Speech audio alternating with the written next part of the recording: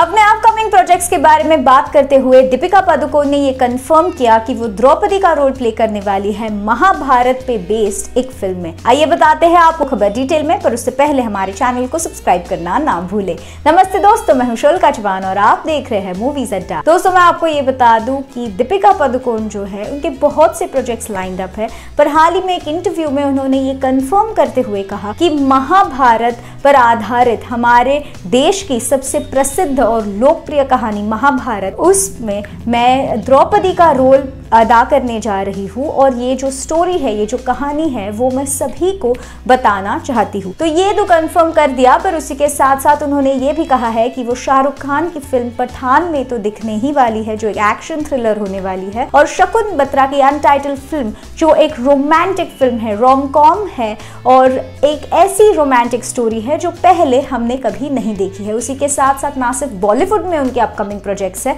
पर हॉलीवुड में भी उनके अपकमिंग प्रोजेक्ट्स है। द इंटर्न का रीमेक जो है, वो भी वो करने वाली है। हालाँकि उसकी शूटिंग शुरू होने में अब देर है। तो इस प्रकार से दीपिका पादुकोण को हम लगातार देखने वाले हैं और हम तो उन्हें देखना हमेशा से ही पसंद करते हैं। आप कितने एक्साइटेड है? दीपिका पादुकोण को द्रौपदी इस रोल में देखने के लिए बताइए हमें in the comments below we are waiting to hear you मैं हुशुल का जवान और आप देख रहे हैं मूवीज़ अड्डा